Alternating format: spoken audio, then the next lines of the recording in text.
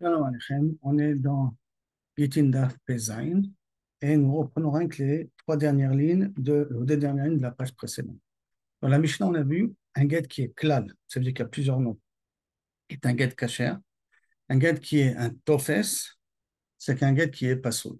Qu'est-ce que c'est klal? Qu'est-ce que c'est tofes? On a vu, on a commencé à voir déjà que Rabbi Yochanan et Rish Lakish, chacun donne son explication. Et donc, je reprends les deux dernières lignes de la page d'avant.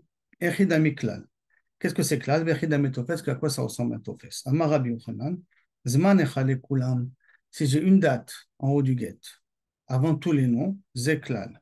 Zman ekol echad vechad, si j'ai une date pour chaque personne qui a marqué Reuven, divorce de Léa à la date telle, Shimon, divorce de euh, Rachel à une telle date, et ainsi de suite.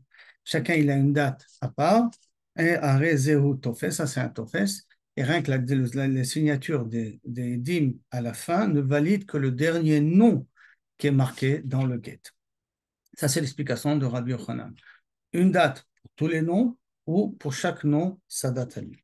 Rish Lakish Par contre, Rish il a dit, à plus Même si c'est une date pour tous les noms, ça s'appelle aussi un tofes. On va dire, alors qu'est-ce que c'est un klal? On va expliquer ça par la suite. Et la klal, alors qu'est-ce que c'est le klal, justement, pour Rish Lakish? Les Katav, c'est marqué Anu ploni ou ploni, moi, Reuven, Shimon, Levi, Yehuda, Girashnu nous on a divorcé de nos femmes qui s'appellent Léa, Rachel, Yehudit et ainsi de suite. Matkif le Rabbi Abba, Rabbi Abba pose une question, là au nom de Rabbi Yochanan, Amazman Echad et Kulam, que lui a dit que c'est un, une date pour tous les noms en question, ça s'appelle le.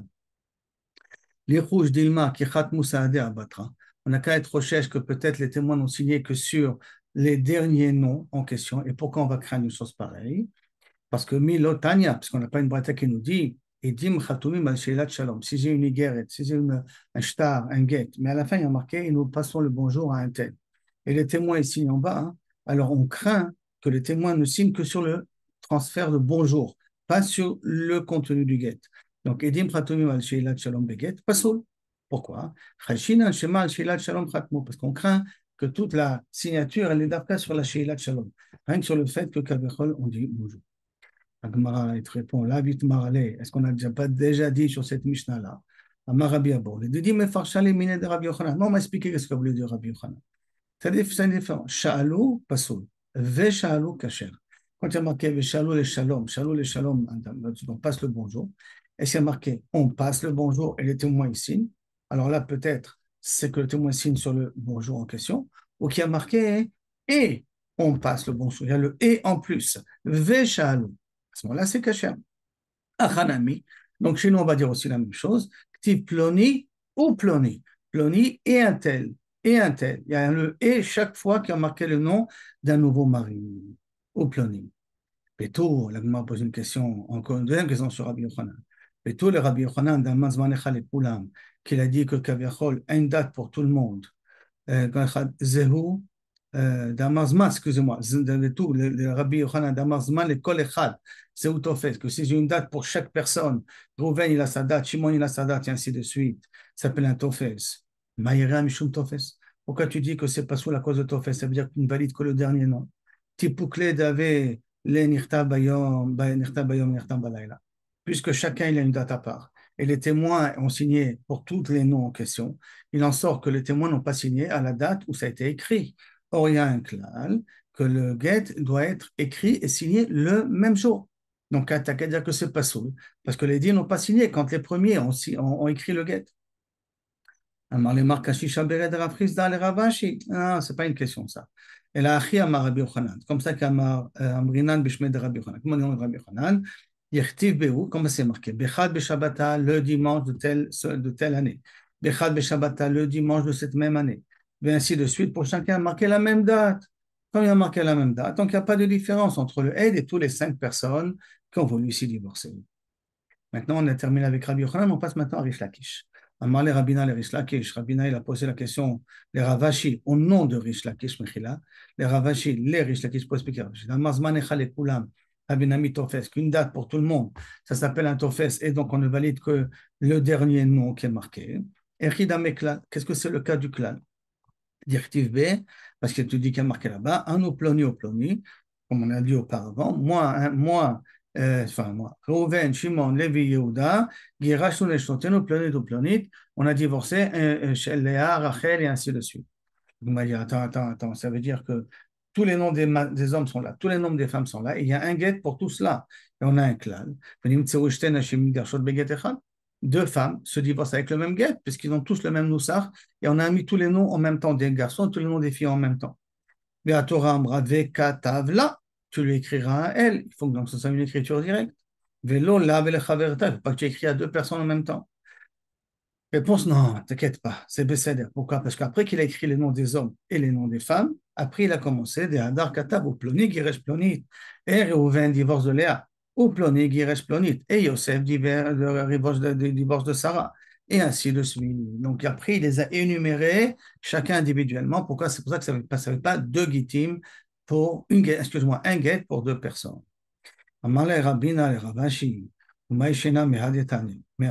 Et quelle différence maintenant entre gitin qu'on vient de dire là maintenant? Et un autre din qui se parle de get shirchore avadim, un get qui libère des avadim. Or, n'oublions pas, on a un kesh entre les avadim et les gitin, que tous les dinim qu'il y a dans les gitin, il y a dans les avadim.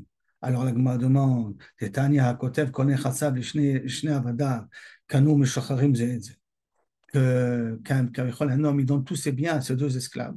Il leur donne tout. Alors, ils acquièrent tous les biens, mais comme dans chacun, il acquiert tous les biens, il acquiert aussi l'esclave d'à côté. Donc, les deux, ils acquièrent, et puis après, chacun libère l'autre. Il a écrit un shtar. Et avec un shtar, il a libéré, a priori, deux esclaves. Or, un cas pareil ne marche pas, a priori, au niveau du guet d'une femme. Si ça ne marche pas au niveau du guet d'une femme, ça ne devrait pas marcher au niveau d'un évêque. La Gemara lui répond, mais est-ce qu'on n'a pas déjà expliqué que cette braïta a dit que pas qu'il a donné un guet, enfin un shtar de shirou et un shtar des biens aux deux esclaves en même temps. Et là, il a donné deux shtarot, la même chose, le même contenu. La différence, c'est qu'il a donné en même temps. Comme il a donné en même temps, on ne peut pas dire qu'un, il a été libéré avant l'autre. Parce qu'en conséquence, c'est pour ça que chacun doit libérer l'autre. Mais en vérité, il a donné deux shtarot, et donc il n'y a pas de kushia à cause de ça. L'agma nous dit, Tanya, qui de Rabbi Yochanan, on peut expliquer la braïta aussi comme Rabbi Yochanan, j'ai une braïta qui renforce les paroles de Rabbi Yochanan. Mais Tanya qui battait de Rish Lakish, j'ai une braïta qui renforce les paroles de Rish Lakish. Tanya qui battait de Rabbi Yochanan, j'ai une braïta qui va de Rabbi Yochanan comme ça? Hamisha shekadvu beto chaget ish ploni megaresh plonit. Cinq personnes qui ont écrit qu'un tel divorce une telle. Ou plonit plonit et un tel un tel. Ou plonit plonit et un tel un tel une telle. Une date pour tout le monde. Et les témoins en bas. Kulam kesherim tous les guettim sont chérim, tu peux divorcer à tout le monde, tu n'atteins le kol achad ve'achad, chacun il faut donner le même papier pour, pour la partie qui lui concerne. Par contre, euh, zman le kol echad ve'achad, si j'ai mis une date pour chacun, donc j'ai séparé chacun avec une date au milieu, même si c'est toujours la même date, hein, milemata, et les témoins sont signés en bas, et aidim mikraim kacher, ceux qui, les témoins qui, lit, qui euh, qui accompagne la, le dernier nom écrit, ça, c'est le seul guet qui est caché. Tous les autres, on considère qu'ils n'ont pas de, de témoins parce qu'ils ont été séparés à cause des dates. Rabbi ben Betera Omer, Imeshrevar benem pasuvim lav kacher. Par contre, Rabbi Ben Betera dit non. La date, ce n'est pas, une, séparation entre le nom de l'un et le nom de l'autre, qui les sépare de, la signature des témoins. S'il y a de l'espace, oui, ça c'est une séparation. Un blanc, c'est une séparation, mais la date seule, ce n'est pas une séparation. Donc Rabbi Ben Betera, il est marmir au niveau de l'espace, mais il est Mekel au niveau de la date. Maintenant, on va passer à Lakish. Tania qui battait des Rish Lakish. Donc j'ai une braïta qui va comme Rish Lakish. Comment ça? Hamisha vous cinq ont été écrits. Klal, Betor Haget, ils ont été écrits ensemble dans le Get. Anu ploni ploni, girash nous chantons ploni ploni. Et nous, un tel Rav Ruben Shimon et On a divorcé de Rachel et Sarah et José. Et après on comprend, on développe. Des ploni, girash ploni ou ploni, girash ploni. Et un tel, Reuven, il a divorcé de Léa, et Shimon, il a divorcé de Rachel. Après, on explique chacun les noms des personnes. Le et une date pour tout le monde. Vaïdim et les Mata, et les témoins signés en bas. Oulam, Kesherim, ça s'appelle un klal, et dans nos klal, ce moment-là, tout le monde, euh, tout le monde sont en guet caché. Vetinatel le automatiquement, on donnera ce bout de papier-là à chaque femme pour qu'elle puisse se divorcer. Par contre, zman le kol echad ve'echad, verebach le kol echad ve'echad. Si maintenant on a mis une date entre chaque personne et en plus un espace entre le nom, le nom du premier plus sa date, après un espace, une date avec le nom du deuxième, un espace, une date avec le nom du troisième. Et les témoins sont signés en bas. Ceux qui, les témoins qui sont associés à le dernier nom qui a marqué, c'est caché. Ça, c'est le fameux Tofes pour Ishlakish. On voit que ça va comme Ishlakish. Mais là, n'oublions pas, on a rajouté aussi l'espace. Hein. N'oublions pas ça. Rabbi Meir tout dit, Afalpi Shen Revar Benem D'après Rabbi Meir, il dit non, il ne faut pas la date et l'espace pour séparer le nom de l'un du nom de l'autre, pour considérer que c'est un tofes. Et là, il suffit qu'il y ait une date entre chacun. Alors à ce moment-là, ça s'appelle un tofes et ça sépare les, le, ça sépare les noms des personnes et donc automatiquement les personnes ne sont pas divorcées, rien que le dernier est divorcé. Maintenant, Shen Revar Benem Posel. Chez Azman Mafsika, c'est le temps qui, la date qui se sépare. Dans la elle veut comprendre une chose. Qu'est-ce qu'on vient dire d'après la Braïta qui va d'après Lakish? Qu'il faut et la date et l'espace. Or, qu'est-ce qu'il m'a dit Lakish au départ? Qu'est-ce que c'est un tofes? Une date pour tout le monde. Ça s'appelle aussi un tofes. Donc la Gemara demande de Rish Lakish, pourquoi j'ai besoin de dire une Braïta où il y a une date pour chacun?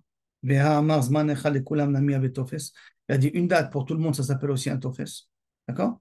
Alors comment ça se fait que tu as besoin de me dire dans la Braïta que je donne une date à chacun? Réponse avec Topé savait. Hanem, il est dans quel cas? De Quand est-ce je dis qu'une date pour tout le monde, c'est Moïl, quand je ne les ai pas mélangés au départ ensemble. Mais Aval, là, je les ai mélangés ensemble. Ipalig, Leuzman, in Ilolo. Si je mets une date entre les noms, ça marche, ça n'en va pas. C'est-à-dire que, si maintenant, n'oublions pas comment il est le guet. Il y a marqué au départ, Reuven, Shimon, Levi, divorce de Rachel, Léa, et ainsi de suite. Et après, je marque et Shimon divorce de Léa et Yuda divorce de Rachel. Si je mets que des dates pour séparer les noms, ça ne s'appelle pas encore Tofes. Pourquoi Parce qu'au départ, je les ai mélangés ensemble. Et les dates, ce ne sera pas un élément qui va les séparer. Par conséquent, pour les séparer, il faut mettre des dates plus un espace. Alors là, pour Ishlakish, ça s'appellera Tofes. Mais si je ne les ai pas mélangés au départ, et là, j'ai mis une date. Et j'ai dit après, Rovin divorce de Léa, Simon divorce de Rachel, et ainsi de suite. Ça, ça va s'appeler un tofes quand même parce que je ne les ai pas mélangés au début. Donc, je n'ai pas besoin d'un espace pour séparer entre les noms. Ça, c'est la svara de Rish Lakish. Maintenant, Matnitin, une Mishnah. Deux gitin écrits l'un à côté de l'autre. ושני עדים עבריים באים מתחת לזה, לתחת זה, ושני עדים יוונים באים מתחת זה לתחת זה et deux témoins, ils sont signés en bas des deux guettes, et deux témoins euh, ivrim, hébreux, donc d'Eretz Israël, et deux témoins grecs, juifs, grecs bien entendu, sont signés en bas. Bien, vous voulez le problème Il faut partir du principe que le grec écrit un petit peu comme le français, ça veut dire de gauche à droite. Qui veut dire, lorsque j'écris, euh, par exemple, Yosef ben Shimon, son nom n'est pas Yosef, son nom est Shimon c'est Kilo Kaviachol, Shimon, c'est le ben de Yosef. Faut Kilo le lire ça à l'anglais. C'est écrit en hébreu, hein. Yosef ben Shimon, en réalité c'est Shimon que le fils de Yosef. En hébreu, pour les, pour les Hébreux, pour les Israéliens, c'est l'inverse. Yosef ben Shimon, son nom c'est Yosef en question. Et donc, là j'en ai fait un petit dessin, et voici un petit peu l'exemple que nous avons ici. Partons du principe que ceux qui sont en rouge, c'est les Hébreux. Et ceux qui sont en bleu, c'est les Yevanim. Et quand j'ai entouré en noir, c'est les noms, les vrais noms de la personne. Donc, on a un get ici, d'accord? Un get là, get 1, get 2. Le premier a marqué Moshe Ben Shimon, Levi Ben Shimon, donc les deux témoins, ils sont ici, sous le premier get. les deux autres signatures qu'il y a ici, c'est Israël Ben Yehuda, donc son nom Israël est sous le deuxième get, et Yishai est sous le deuxième get. Et ça, c'est des Yevanim. Alors, dans un cas pareil, qu'est-ce qu'il y a marqué? D'accord L'endroit où les édim premiers sont à côté le get, c'est kasher. C'est-à-dire que le, quel qui est kasher? Que le get numéro 1. Le get numéro 2 n'est pas kasher. Pourquoi? Parce qu'il est loin de l'écriture du get. Parce que ça, c'est les noms des parents. Et comme ça, c'est les noms des parents, donc ce ne sont pas des signatures. Pour l'instant, tel que l'admiral comprend les choses. En tout cas, c'est pour ça que ces deux édim grecs qui sont cachés, mais qu'ils écrivent à l'envers, leur nom est ici, loin du get 2, donc le get 2, il est pas sous. Après, la dit, et. Maintenant, Ed Echad. Un hébreu, un est grec. Edechad Ivri, Edechad Ivri, un hébreu, un grec, ou l'inverse, hein, c'est la même chose, grec, hébreu, grec, hébreu. Ubaim, euh, Ubaim mitachadze le tachadze, un il vient en dessous de l'autre, Shnehem Donc ça c'est le deuxième type d'exemple que nous avons ici, d'accord? Donc Moshe ben Shimon, l'hébreu, son nom est ici, Israël ben Yehuda, son nom est là, le, Lévi ben Yosef, son nom est ici, le noir, d'accord, se voit ici, et l'inverse, donc David ben Ishaïl, son nom est là. Il en sort que je n'ai pas deux signatures juste en bas du get 1 et je n'ai pas deux signatures directes à côté du get 2. Donc pour l'instant, l'Agmara dit que les deux sont psaulim. L'Agmara va expliquer, expliquer pourquoi, qu'est-ce qui se passe exactement, la vraie raison. Mais pour l'instant, voici comment on comprend la Mishnah. L'Agmara demande, après qu'on nous a expliqué le cas où deux gitim, les deux être cachés, les deux être pasoul, velit kacher hay et que Kaviachol, euh, il a pris l'exemple de Rouven, moi j'ai pris un autre nom, d'accord? On n'a qu'à dire, je reviens à ce cas du premier get. Hein. On avait dit que cela, ce get-là, il est caché parce qu'il y a les deux noms qui sont à côté, et ceux-là ne sont pas, n'est pas caché parce que les deux noms sont en bas. On n'a qu'à dire que celui-là, il est aussi caché grâce au thème de Shimon et grâce au nom de Yosef. C'est vrai que Shimon et Yosef, c'est le nom de ces gens-là, c'est le nom des pères de ces gens-là. Mais j'ai qu'à valider avec ces deux noms-là. J'ai qu'à être marchir, celui-là, bon, il faut dire plus précisément comme ça.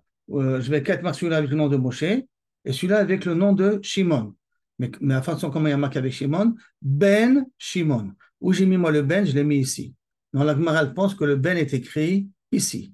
Donc, comme a marqué ici, Ben Shimon, tout de suite à côté, dans le deuxième get, il y a marqué Ben Shimon. Et s'il y a marqué un Ben Shimon ici, ça devrait être caché comme il dit la Gemara, Ben Yaakov, marqué, Ben Ish Ploni, fils d'un tel, Ploni, est kacher, c'est un être kacher. Je ne suis pas obligé de mettre mon prénom. Il suffit que je mette le fils du nom de mon père, et ça s'appelle aussi une signature, et c'est kacher. Donc si le mot Ben était ici, alors à ce moment-là, j'aurais dû être marché sur ce guet, grâce au nom de Ben Shimon. Qu'est-ce qu'elle répond la Gemara Katav ben Reuven ben Akama. J'ai écrit le mot ben ici. Je n'ai pas écrit le mot ben ici. Mais si j'aurais écrit effectivement le mot ben ici, et donc ce, ce, ce, Moshe, il aurait été valable pour valider ce premier get, et le ben Shimon aurait été valable pour valider le deuxième get. Maintenant, la Gemara demande, qu'a validé Yaakov Ed, Abatra, qu'a validé Velit Kacher, euh, Berouven Ben Kacher, euh, et, que j'ai qu'à valider maintenant ici. Ce Moshe Ben, je le garde ici, comme c'est écrit, et le premier get, il est Kacher, c'est normal. Celui-là, je vais le cacheriser parce qu'il y a marqué Shimon Ed. Shimon Ed. Et quand il y a marqué le nom d'une personne plus le mot Ed, alors Beder, là, c'est aussi une valeur de, de, de, de, de, de signature. Ish Ploni Ed, Kacher? Ah, ben, j'ai marqué Ish Ploni Ed, c'est Kacher. Donc le nom, Eli, témoin, c'est Kacher. Alors peut-être le mot Shimon Ed, ça, ça va valider automatiquement. Le deuxième get, pourquoi tu m'as dit que le deuxième get, il n'est pas sous Réponse, Zelo Katav. Tu veux, on parle ici qu'il n'a pas écrit le mot Ed. Je l'ai écrit ici, mais Kavichol dans les autres, je ne pas écrit. D'accord? Et là, que Kavichol, il n'a pas écrit le mot Ed à ce moment-là. Si tu veux, je peux te dire. L'onam de Katav Ed on peut dire que Kavirko, il a aussi écrit aide. Pourquoi ce aide, ce get là, il est quand même pas soul? Pourquoi? Et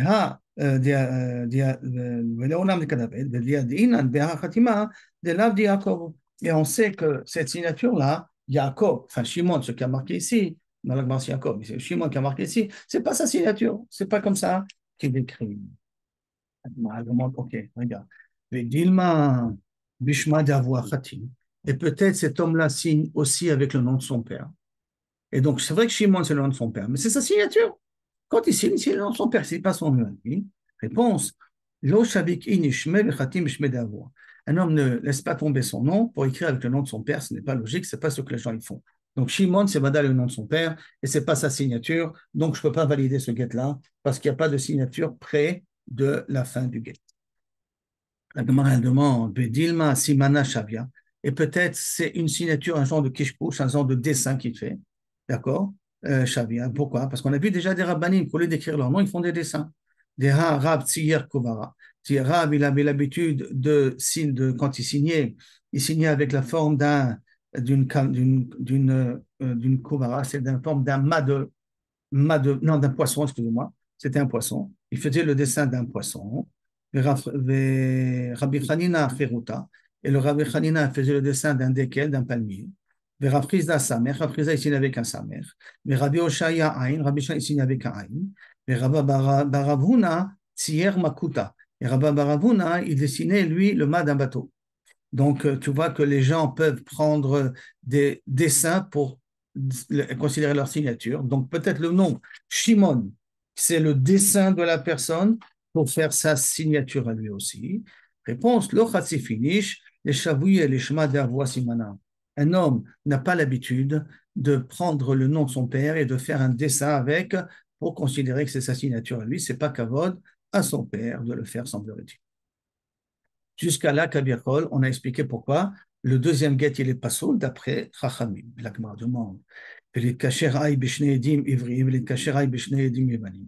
Je ne comprends pas. Sauf, sauf. Il y a deux témoins ici, Et ces deux témoins sont aussi cachers. C'est vrai qu'ils n'ont pas, signé juste à côté le guet, mais ils ont quand même signé ici. Comme ils ont signé ici, pourquoi tu ne valides pas ce guet-là grâce à ces deux témoins en question? Dites-nous comme c'est marqué. Get chez Kadvo, euh, get comme c'est marqué en plus. Dites-nous, get chez Kadvo ivri. Un get qui a été écrit en hébreu. Veda Yevani, c'était moins son grec. Yevani, Veda ivrit, et c'est des grecs dont leur, euh, la signature c'est des hébreux, kacher. Et Thomas, donc tu vois, c'est pas un problème de signer aussi avec deux types de signatures. Ça, ça marche quand même, même si c'est pas la forme de l'écriture du get. Un, c'est écrit en hébreu et la signature, c'est en, en français. que si on dit que Ktabi Emanit, ça peut être aussi français. Hein. Vechitema, tu vas me dire qu'il y a des mots flag, Beshne Shitin, me dire oui, d'accord, non, je vais bien, d'accord, c'est vrai. Il y a un espace ici, de deux lignes, qui ne sont pas des témoins. Et à cause de cet espace-là, je ne peux pas considérer ces deux témoins comme les témoins de ce guet-là. Hein. y a Pourtant, Rezkia a dit Milaou Bekrovim Kacher. Rezkia vient et Tu sais, oublions cet exemple-là. Un guet où j'ai marqué plein de noms ici qui sont des proches, donc ce ne sont pas des, des Edim Et j'ai terminé avec des Edim Ksherim. Ce n'est pas cet exemple-là, d'accord hein? Un guet, un seul guet, avec plein de Krévim, le père, le frère, le beau-frère, j'ai tout fait signer. Ils n'ont aucune valeur parce qu'ils sont, des Krovim. Et j'ai terminé avec deux Edim Ksherim. Parce dit c'est caché. Il dit parce que le seul problème que nous avons, c'est s'il y a un espace entre le guet et la signature, un espace blanc. Mais s'il y a des noms à l'intérieur, ça ne s'appelle pas un F-sec. Donc, on n'a qu'à dire la même chose. Ces deux noms-là sont valables. Et ces deux noms-là ne font pas un F-sec. Quand tu m'as dit que le deuxième get, il est pas soul, à cause de ça, il y en a un, t'as Néziré. Ziré, il change notre Mishnah. Shneem Kesheri, même dans ce cas-là, les deux sont Kesherim. Pas que celui-là, il est Kacher, même celui-là, il est Kacher, donc il change notre Mishnah. La Gemara demande, Betana Didan, et notre Mishnah, euh, d'accord, tu changes. Sauf qu'on a une Mishnah qui a marqué Psulim. Pourquoi c'est pas Soul Alors là, il nous dit, par exemple, Gondoliot. On craint que Kaviachol, euh, ils ont signé Be Gondoliot. C'est quoi Gondoliot? Et tout se trouve d'un seul endroit. Reprenons Kaviachol, cet exemple-là. D'accord? Et, euh, et regardons ici. Imaginons que maintenant, ce aide-là et ce aide-là ont vu qu'ils ont marqué les noms ici. Qu'est-ce qu'ils ont fait eux aussi? Ils ont marqué leur nom là et le nom de leur père ici. C'est vrai qu'habituellement, en tant que grec, ils auraient écrit le nom Yehuda ben Israël et Israël, c'est leur vrai nom. Mais comme ils ont vu que eux, ils ont mis leur vrai nom à droite, alors ils se sont dit ah à ce qu'il faut écrire comme ça, et eux aussi, ils auraient écrit à droite. Et nous, on sait que ce sont des Grecs, parce que par exemple, ils ont signé en grec. Et moi, je crois que Kaviachol, leur vrai nom est ici, alors que c'est pas vrai, ils ont recopié ce qu'il y avait avant. Et il en sort que tous les noms sont là, et là, il y a zéro nom. Il n'y a rien que les noms des parents. Et c'est pour ça que, à cause que ce rachat, ce crainte que peut-être les Grecs vont vouloir copier la façon comment les, Hébreux, les Juifs ont écrit de Jérusalem, ont écrit. C'est pour ça qu'on a considéré que ce guet-là, il n'est pas sauvé.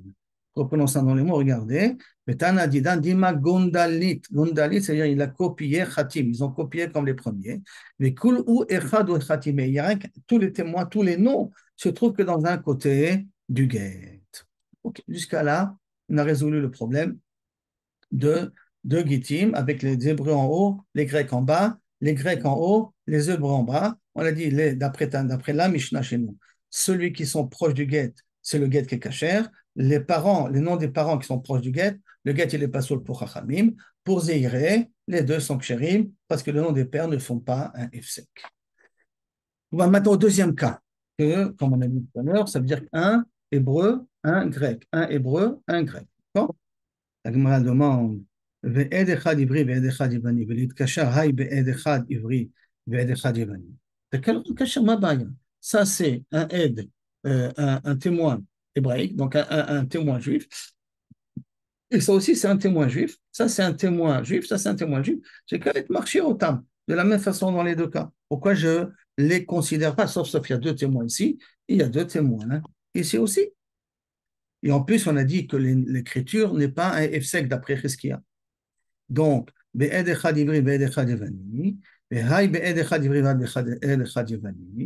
réponse, donc j'ai qu'à valider un avec le le, le, ivri et un avec le yevani. Maintenant, dans ce dessin-là, hein, ça rentre pas trop parce que ça veut dire que là, je, le valide avec les deux ivri, les deux en rouge, et là, je le valide avec les deux yevanim, les deux en bleu. C'est ça que la a compris ici qu'on parle d'un cas suivant un cas un peu différent, c'est le cas suivant. La a compris, voilà, l'hébreu, il a signé comme ça, Moshe ben Shimon. Maintenant, le grec, il a commencé ici, il est parti à la ligne suivante. Donc, il a écrit Yehuda ben Israël, et son nom, c'est Israël. Maintenant, le, hébreu qui a vu qu'il a marqué, euh, il a terminé ici, lui, il a continué ici, Lévi ben Yosef, donc son nom est là, et ben Yosef, et le, troisième, qui a, quand le troisième a terminé ici, le quatrième, a écrit en bas de lui, il a écrit David ben Ishaï. Il en sort que maintenant, on a un nom hébreu, un nom hébreu, un nom grec. Ici, on a un nom hébreu, un nom grec. Et on n'a qu'à considérer que les deux Gittim sont kshérim. Pourquoi tu nous as dit que les deux Gittim ne sont pas kshérim ivri, ivri, parce qu'on a pris ivri, yivani kasher. Hatane, Zéré, Shnem, Shem. Oui, Ben Zéré, il a raison. Dit oui, oui, tu as raison. Il faut rectifier dans la Mishnah. Même ce cas-là, d'accord, les Edim sont Ksherim. Même ce cas-là, que j'ai vu auparavant, mais là aussi, les Edim, sont, les deux Gittim sont Ksherim. Dans les deux cas, excusez-moi, dans les deux cas ici, les Edim sont Ksherim. Et là aussi, le Get, les deux Gittim sont Ksherim, les paroles d'après. Ah, mais Tanakama n'a pas dit comme ça? Mais Tanadidan, qu'est-ce qu'il va expliquer? Tanadidan, Dilma Gundalit Khatim. Peut-être Gundalit. Rappelons Gundalit, ils ont copié. C'est-à-dire que si je prends cet exemple-là, Moshe Ben Shimon, il n'y a pas de problème, il a écrit comme il faut. Maintenant, qu'est-ce qu'il a vu, Yehuda? Il a vu que lui, il a mis son nom ici en premier. Il a dit, ah, donc ça veut dire que je dois mettre mon nom en premier. Alors, qu'est-ce qu'il va faire? Il va écrire, son nom c'est Israël, donc il va mettre Israël, il va mettre, euh, il va mettre, euh, il va mettre il va écrire plutôt Israël ben Yehuda. Il va mettre le mot Israël ben Yehuda, il va échanger Kaviachol pour faire la même chose que lui. Il va faire Israël ben Yehuda. Lui maintenant va voir que lui aussi a écrit de cette manière-là. Donc lui aussi, il va écrire de cette sorte, de cette sorte. Et lui, par exemple, il va rester comme il était. Ou c'est celui qui va copier le précédent, et lui va rester comme il était. Il en sortirait qu'on aurait si on dit que, par exemple, celui-là, il a changé, on aurait trois noms ici et un nom ici, ou l'inverse, hein. on aurait trois noms ici et un nom ici. À cause de ce safek-là, ils ont préféré, Chachamim, de rendre pasoul les deux litim en question. Jusqu'à là, la première, la deuxième sugia. Troisième sugia. Shier miksataget. Il a laissé une partie du get et il a écrit à côté. Donc cet exemple-là, la date, il a commencé à écrire le get, il a laissé, il a écrit en haut et il a signé ici. Donc le get commence ici et se finit ici. Ça, c'est le cas qui nous intéresse, d'accord? Il a commencé ici et il a fini ici. Donc, Shier, Mixat Aged Vekadvo Bedafashini, Vehaidim Milemata, et les témoins sont juste ici en bas, Kacher, il n'y a pas de problème, le get, il est Kacher. Patmo Edim Berosh Adaf, si le témoin, au lieu de signer ici, les témoins ont signé ici. Berosh Adaf, c'est pas d'accord? Berosh Adaf, Minatzad, au lieu de, imaginons qu'ils ont, ils ont fini de signer là, les, les dîmes ont signé là dans le coin. Ou imaginons qu'il a écrit de en une seule ligne, et les dîmes ont signé ici sur le côté. Ils n'ont pas signé à la fin du. Les Roshadaf, Minatsad, O Meachora, ils ont signé ici par derrière, comme le get Mekouchar, rappelons le bet qu'on plie, qu'on coupe pour les Kohanim, que là-bas les dîmes signent par derrière. Ou Meachora, Beget Pashut, ce n'est pas le get Mekouchar en question, d'accord? Tous ces cas-là de figure, c'est pas c'est-à-dire que Khatmou Minatsad et tout ça c'est pas sous. Ikif Rosho Shel Ze, Betsad Rosho Shel Ze. Ba. Il a écrit un get, on va prendre ça par exemple, si ça c'est la tête du get, le début du get, et ça c'est le début du get, d'accord? Et il a écrit un get ici de la moitié, et ici un get de l'autre moitié de la page, de telle sorte que les deux têtes se touchent, pas se touchent, mais en tout cas sont du même côté. Je répète, ça c'est le début du get et ça c'est le début du get et les témoins signent au milieu entre les deux. Ok, donc euh, Betsad euh, Ikif, Betsad Rosho Shelze, Betsad Rosho Shelze, Ve'aidim ça les témoins entre les deux. Shneim Psulim, les deux Edim sont Psulim parce qu'aucune signature se trouve à la fin d'un get. Sofo Shel Get Ze, Betsad, Sofo Shel Get Ze, Ve'aidim ça Les deux euh, les deux, euh, on va dire, euh, Gitim, get 1, get 2. La tête est là, la tête elle est là, ils sont écrits à côté, mais la signature, elle est au milieu. D'accord? On va dire en bas, entre les deux, au milieu. Et Chaidim, Nikraim, Besofo, Kacher. Quand on, voit ici comme ça et qu'on écrit, on, on écrit un petit peu en diagonale. Donc la tête de, des lettres va vers le rouge. Si la tête des lettres va vers le rouge, donc à ce moment-là, on considère que le rouge a des édimes et le bleu n'a pas de édim. Quand on écrit, on regarde par où penche la tête des lettres parce qu'on a l'habitude, a priori, d'écrire ça un petit peu en diagonale. Magma continue après. Nikrimo kacher. Rocho shelze betsad sofo shelze. La tête de l'un qui se trouve à la, à la, à la, à la fin de l'autre. Donc on a un au-dessus de l'autre. Celui-là, il commence ici, il se finit. Celui-là, il commence en bas et il y a un espace entre les deux. Ben, ben, et les témoins sont signés en bas. Et comme les témoins sont écrits à la fin de ce guet-là, donc ce guet est cachère, et ce guet-là, bien entendu, il est pas Ça, Maintenant, on va voir au niveau de l'écriture des noms et de la syntaxe. Get chez Ketavo Ivrit. David Banit, un get qui a été écrit en hébreu avec après des signatures grecques. Yevanid, Vedav Ivrit, un guet qui a été écrit en grec avec euh, des témoins euh, qui ont écrit en hébreu. Un témoin écrit en hébreu, un témoin il écrit en grec. Katav Sofer Ve'ed, si maintenant le Sofer a écrit le get et il a signé avec un autre témoin, Kacher. Ishploni Ed, Kacher. Si au lieu d'écrire mon nom et le nom de mon père, ou le nom de ma famille, j'écris rien Eli Ed, c'est Kacher. Ben Ishploni, si au lieu d'écrire mon nom, j'écris le nom de mon père, fils d'un tel, Ed, Kacher. Ishploni Ben Ishploni, fils, et mon nom, fils de Eli, fils de mon nom de mon père, Kacher, sans avoir écrit, velo Ed, sans avoir écrit le nom de Ed, Kacher. Comme ça, les Talmidei Chachamim, les gens qui faisaient attention à Yerushalayim l'écrivaient. Aussi, comme ça, ils faisaient, écrivaient leur nom et le nom de leur père sans forcément écrire le nom de Ed. Aujourd'hui, on écrit tout. Hein. Ton nom, le nom de ton père, le nom de famille en plus, et Ed à la fin. Si j'ai écrit, au lieu d'écrire les noms des personnes, j'écris les surnoms des personnes, c'est aussi kacher. Ça veut dire que, par exemple, Eli, pour l'étudiant, s'appelle Lalou. Au lieu d'écrire Eli, j'écris Lalou. Ben, c'est aussi kacher, ça s'appelle aussi une signature, puisque c'est le surnom donné au Eliaou en Tunisie.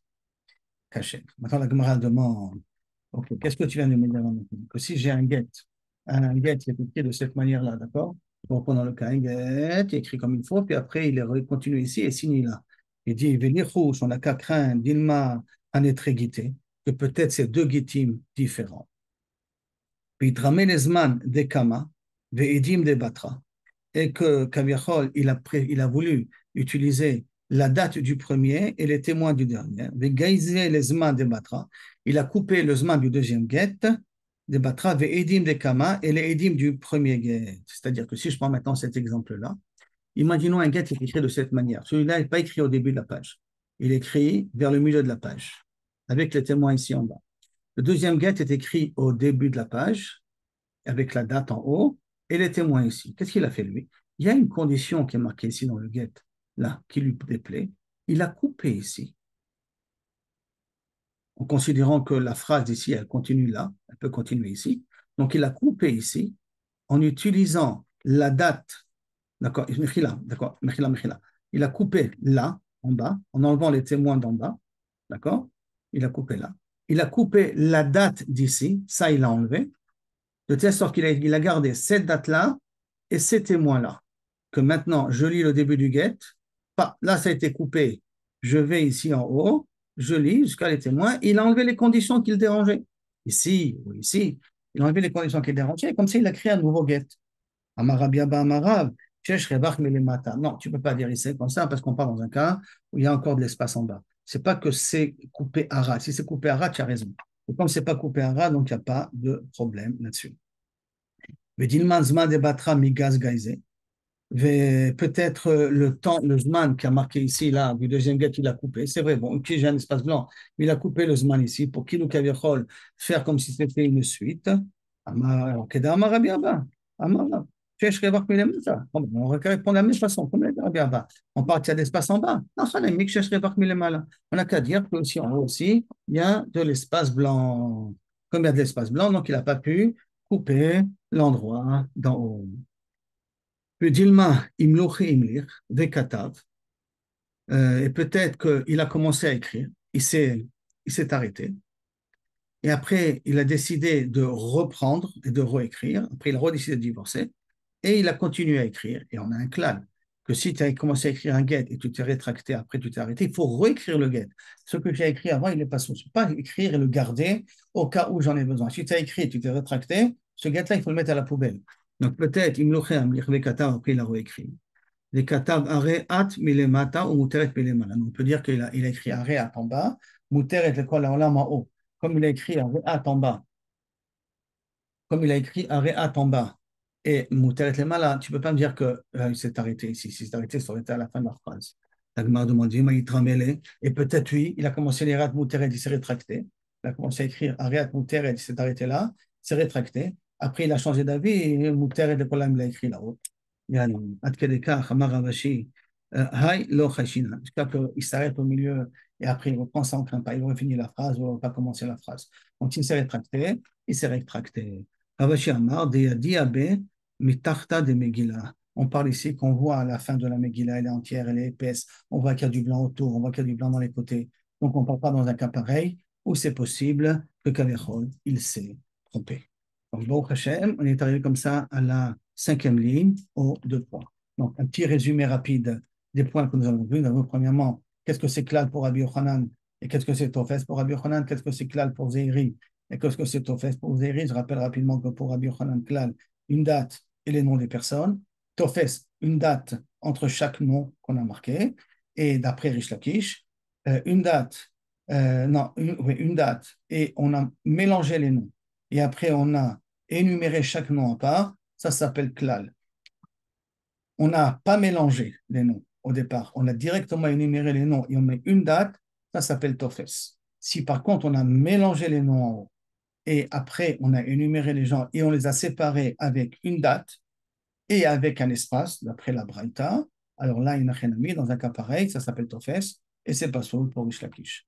Après, on a vu le problème que qu'est-ce qui se passe lorsque des témoins hébreux et des témoins grecs, dont un il écrit en hébreu, l'autre il écrit en grec. en grec, on écrit l'inverse, on écrit le nom du père avant d'écrire le nom du fils. Qu'est-ce qui se passe? Quand est-ce que les sont rien Alors, pour notre Mishnah nous, les témoins qui sont kasherim, c'est-à-dire qui sont l'un côté de l'autre, suivent le guet. Alors, le, guet en question, il est caché. Les, témoins grecs qui sont loin du guet, le code de get numéro 2, il est pas sous. Hein. On aurait pu inverser. Si d'abord c'est des Grecs qui ont écrit en premier, le get numéro 2, il aurait été cachère, et le get numéro 1, il aurait été pas sous. Tout ça pourquoi? Parce qu'on est recherche on n'est pas on recherche que les Grecs vont copier les Hébreux, les Hébreux vont copier les Grecs. C'est pour ça qu'il va s'avérer que tous les sont, se trouvent que les se trouvent que d'un seul côté. C'est pour ça qu'on est marchir que lorsque les deux qui sont de la même, du même pays sont à côté le get, à la fin du get, c'est ça uniquement quand on est marché. Par contre, s'il y a un, un, hébreu ou un grec ou l'inverse, un hébreu ou un grec, d'après Tanakama, les deux Gittim sont psaumes. Pourquoi? Parce qu'on est recherche à Golgoda, que le grec a voulu copier celui du juif, et donc à ce moment-là, il a mis son nom au même endroit que le, le, juif, donc il s'avère que peut-être j'ai que trois noms d'un côté et un nom de l'autre. Mais Kitsour, il risque d'avoir un balagan. À cause de ce balagan, on préfère l'intérieur du get. Par contre, pour Zéiré, il dit que le premier cas, deux juifs, deux grecs, même le get numéro 2, il est cachère. Et même quand on a un aide hébreu et un aide hébreu et un aide grec, on ne craint pas, Good on ne craint pas qu'ils vont se, mais ils vont copier. Et c'est pour ça que les dîmes sont aussi chéris. Après ça, nous avons vu s'il reste un get sur deux pages, écrit sur deux pages, on considère qu'il est quand même cachère. Après, on a dit que le plus important, c'est que les témoins soient à la fin du get. Donc, lorsque Patrick, comment tu as écrit les deux guettim, tout ça, il faut que les témoins soient à la fin du get. Après, on a vu que, comme on a dit, comment j'écris la signature, le nom de la personne, uniquement son nom de famille. Si j'ai marqué Eli Ed, c'est cachère. Si j'ai marqué Ben Shimon, c'est cachère. Ed, c'est cachère. Si j'ai marqué les surnoms, Lalo et tout ça, c'est cachère. Et si j'ai marqué, bien entendu, Eli Ben, le nom de mon père, sans marquer le nom Ed aussi, ça aussi, c'est cachère. La m'a demandé pourquoi on va peut-être recherche, s'il a écrit sur les deux pages, on va peut-être être recherche qu'il a trafiqué, c'est dans ces deux il a coupé le, bas du, premier gate et le haut du deuxième gate parce qu'il n'était pas intéressé de se à l'intérieur, donc il prend la date du premier gate avec les témoins du deuxième Il dit parce qu'il y a des espaces en bas, il y a des espaces en haut, donc on ne peut pas, on n'a pas besoin d'être recherche, et même que Cavirol, il n'y a pas de, euh, on voit qu'il y a une suite de phrases qui se suit et on ne craint pas qu'il a écrit Ariat Mouteret, il s'est rétracté et il a écrit après l'école à Olam de l'autre côté, parce que c'est un cas qui est rare. Ou sinon, on peut dire que par l'épaisseur du guet lui-même, comme dirait Ravashi, on voit qu'il n'y a pas pu avoir de trafic sur le guet. Voilà ce cas. Bon,